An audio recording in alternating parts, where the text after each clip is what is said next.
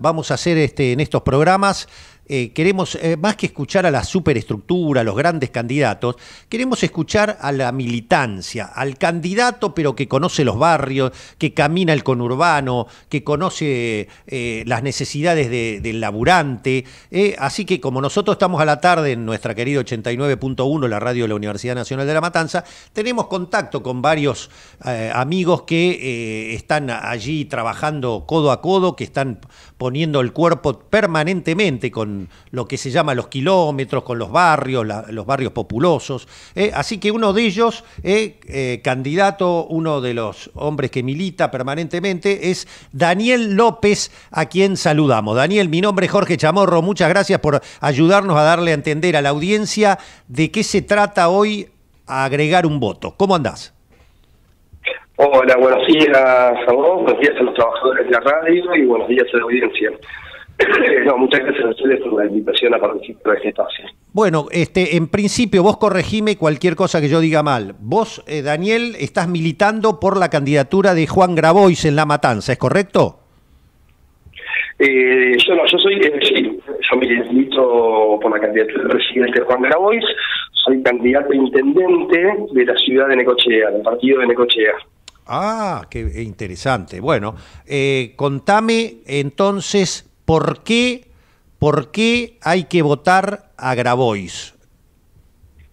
Mira, eh, más allá yo una cosa que no, que no nos cansamos de decir, eh, por lo menos desde nuestro distrito y, que, le cabe a todos los distritos, yo la matanza lo conozco bastante, me pasé muchos años de mi vida eh, militando junto a los matanceros, Claro, de ahí viene, de ahí viene mi referencia, lo aclaro porque eh, introduje mal eh, todos los de, claro, los militantes de la matanza me recomendaron hablar con vos, que eras este, un referente interesante para, para hablar sobre el tema, por eso te, convocamos. Claro. Yo de, muchos años en los kilómetros, eh, el Pino, lo que es el fondo, el Matanza Profundo, y que bueno, siempre me recibió como uno más, por supuesto. Eh, digo, tengo muchos amigos ahí, es un lugar de, para mí es como una segunda casa. El, mira, tema de pregunta, eh, nosotros necesitamos en este momento, en los momentos de crisis, necesitan liderazgos fuertes y liderazgos que también eh, tengan compromiso con el conjunto de la ciudadanía, de nuestro pueblo y no con las corporaciones. Nosotros nos quiere hacer, un chip en nuestra cabeza que es el de eh, que nosotros tenemos que ir de furgón de cola en la División Internacional del Trabajo o la División Internacional de la Economía. nosotros necesitamos, necesitamos candidatos o candidatas que tengan una buena relación con eh, los países del mal llamado primer mundo, con los eh, con los bancos internacionales y que resignen de alguna manera las cuestiones de soberanía nacional, porque eso es lo que nos toca en este momento. Nuestro momento de crisis eh, nos toca eso. Y Juan representa para Juan representa pararse la Corte Internacional de, de, que maneja el mundo diciendo, bueno, Argentina tiene estas características. Tiene la segunda reserva de litio del mundo, tiene las reservas petroleras de la Zapusta, tiene las mejores reservas de agua y un territorio que produce alimentos para 400 millones de habitantes. Por lo tanto, nosotros vamos a pagar igual igual con, cualquier potencia, porque somos una potencia, tenemos recursos naturales para ser potencia, pero tenemos dirigentes que son neocoloniales y que nos transforman en furgón de cola. Y eso fue demostrado con la visita del embajador eh, a las oficinas de Juan. Cuando, cuando la Embajada de Estados Unidos se convoca, Juan siempre lo dijo, no es que nosotros queremos salir del, mundo, nos queremos quedar bajo otras condiciones con el mundo. Y cuando la Embajada de Estados Unidos convoca continuamente la dirigencia política y van todos mancitos, nosotros necesitamos un presidente como Juan Grabois que le diga a los muchachos, ustedes bajo nuestras condiciones y sin ningún secreto, porque si hay un secreto, seguramente es perjudicial para el pueblo argentino. Entonces no puede haber secretos. Y, eh... digo, además, Juan no está invitando a nada, hace lo mismo. Eh, eh, Daniel, ¿te puedo pedir un favor? Em, si podrías moverte un poquito a ver si mejora la comunicación, porque está saliendo medio entrecortado y te queremos escuchar con mucha claridad. A ver ahora. A ver, ahí como siguiendo de un espacio a otro, yo te comento, es un niño de tres años y de campaña es el único momento de campaña, es el único momento en que no estoy de campaña, es, cuando estoy con él, que le cocino, yo llevo el jardín.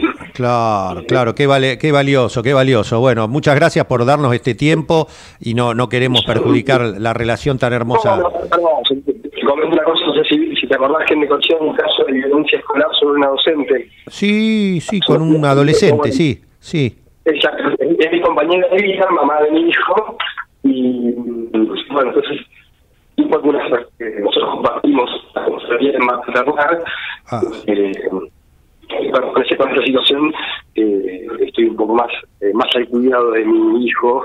Eh, ¿Qué, qué, qué tema? Eh, Daniel, eh, a ver, ¿podrías moverte otro poco? Porque no se te entiende nada, es una lástima y queremos tener tu palabra, se entrecorta todo. A ver, a ver ahora. Ahí mejoró, ¿eh? A ver, ahí mejoró. Ahí, Javier, ¿te parece mejor? A ver, a ver, probemos ahí. Perfecto. No, no, se corta tremendamente. A ver, a ver. A, ver, a ver, sí. A, ver, a ver. ahí. Ahí puede ser un poco mejor, ¿eh? ¿Cómo es el tema de, de la, tu compañera? ¿Qué, ¿Qué es lo que ocurrió? Eh, una situación de violencia con la familia de eh, a principio de año, cerca de marzo, no recuerdo bien la fecha exacta, 12 de marzo. Eh, bueno, fue agredida después de desaprobar a una alumna en, una materia que tenía pendiente. ¿Y qué, qué, ocurrió con eso? Eh, no, eh, fue agredida dentro de la escuela por familia de la alumna. Ah, sí, sí, sí, ahora me estoy acordando. Sí, se fue golpeada y, bueno, justamente mi compañera de vida. Qué locura, qué locura. ¿Y este cómo está ella? Eh, no, ella está con el tratamiento de estrés postraumático, eh, fue muy, muy duro. Eh, esta es una comunidad chica que no está acostumbrada eh, a hechos de violencia características, más allá de que padecemos los mismos problemas que padecen en general todos los docentes en el ámbito educativo. Claro. Pero, pero sí, sí, sí nosotros, lo que decías, es una comunidad chica, esto, cursamos todos sí, sí, lados. Conozco Necochea, sí, sí, sí, hermosa Necochea, la Necochea vieja y la nueva, las dos son lindas. el centro viejo y el centro nuevo, como le dicen ustedes los turistas, nosotros hablamos de centro y playa. Claro, tal cual. Eh, sí, sí, es una ciudad que, mira, no sé si, si, si pudieron escuchar la caracterización que hace acerca del, del rol de Argentina en el concierto internacional de, de los países y por qué Juan debería ser, eh, porque Juan tiene que conducir los destinos del país. bueno, nosotros en Necochea nos pasa algo parecido. Necochea, no, la dirigencia política, empresarial, ha intentado bajar el autoestima del ser Eh, cuando nosotros tenemos una sinergia especial, positiva, eh, muy solidaria y progresista. Y mm, nosotros queremos conducir eso. Nosotros Necochea es una ciudad absolutamente solidaria, es más, nace de un, evento solidario. Necochea nace hacia el año 1880 a raíz del encalle de un barco sus costas y la organización del grupo de vecinos de gauchos eh, que fueron a rescatar el barco y su carga. Eh, o sea, nace, de una cuestión solidaria. Eh, pero bueno, en nuestra autoestima siempre nos quieren hacer, nos quieren imponer que somos una una ciudad de segunda. Y, y, es lo que nos pasa en el país.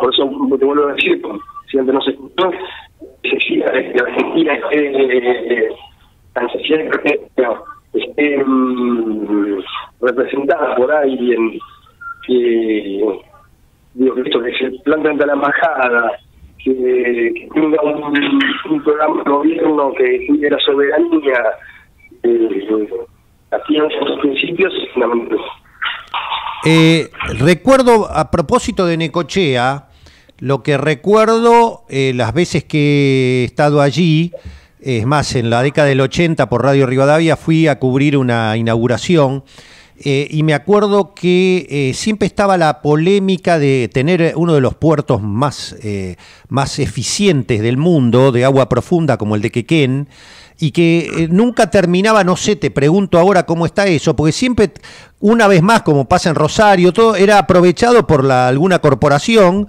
y no era, no era, no era aprovechado para el Estado eh, con, con, todo lo que se puede hacer allí, ¿no? Desde hidrógeno, desde eh, eh, abaratar los costos por, por, por el tema de, de, los canales que tiene allí, las posibilidades que tiene, pero siempre estaba la idea de que los trenes lleguen hasta ahí, que después los camiones, siempre fue una discusión todo eso, no sé cómo está ese tema.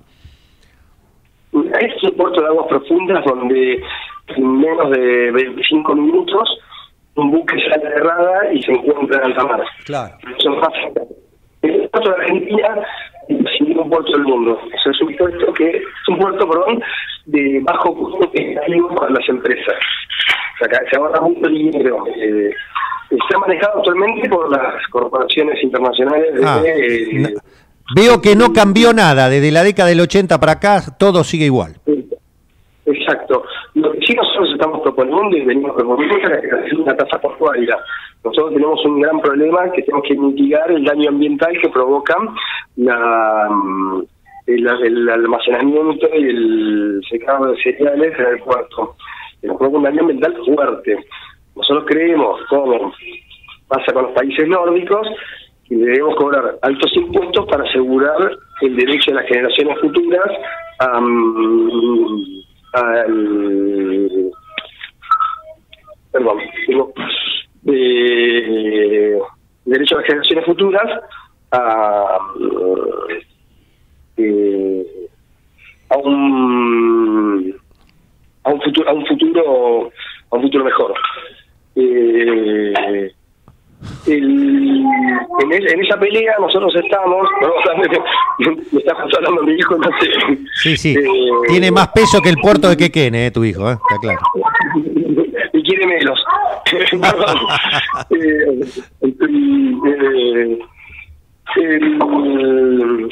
este, vuelvo, vuelvo, perdón, mi perdón la audiencia, pues eh, no, no, podemos separar el militante político del, de, del padre de familia. No, no, está bien. Eh, el, nosotros proponemos la creación de una tasa portuaria, como tienen algunos municipios de la provincia de Buenos Aires, para poder financiar algunas cuestiones que tienen que ver con los daños ambientales y también con algunos daños operativos que provoca el puerto de Pequén con la entrada y salida de camiones sobre nuestras calles eso es absolutamente necesario. Y aparte, todo puerto, la ciudad que lo rodea, requiere la creación de una infraestructura que no puede caer sobre los impuestos de los vecinos. Entonces, de ayer lo que nosotros pedimos es que los multinacionales se les cobren impuestos. Eh, a ver, José Glencore o Pepe Cargil eh, no son vecinos de Necochea y sin embargo utilizan los recursos naturales de Necochea y la infraestructura que pagan los vecinos de Necochea para hacer cientos de miles de millones de dólares de ganancias. Claro, claro. Sigue siendo igual, ¿eh? igual, igual que en los 80 cuando fui a hacer un informe, exactamente igual. Ahora, ¿cómo puede ser que nadie en 30, 40 años haya hecho nada? Nunca, jamás. Qué increíble, increíble. Eh, no, no, no, no se hizo absolutamente nada.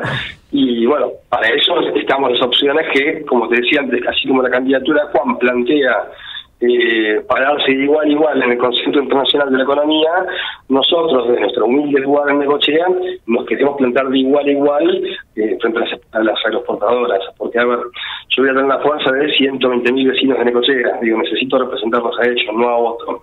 No, no, yo no puedo ir a la oficina de, de una empresa multinacional a quedar bien con el gerente que esté ahí.